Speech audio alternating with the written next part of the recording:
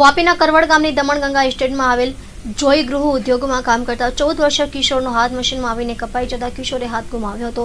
જોકે આ પ્રકરણમાં પોલીસે કંપનીના સંચાલક અને મેનેજરની ધરપકડ કરી હતી.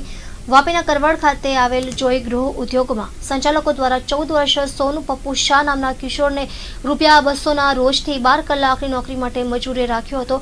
આ બાળક કામ કરતો હતો તે વખતે તેનો હાથ મશીનમાં આવી જતા કપાઈ ગયો હતો.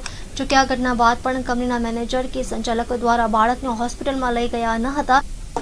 જો આ ઘટનાથી થયેલી બૂમાબૂમના પગલે બાજુની કંપનીના સંચાલક દ્વારા માણસાઈ બતાવી ઇજાગ્રસ્ત બાળકને હોસ્પિટલમાં ખસેડાયો હતો.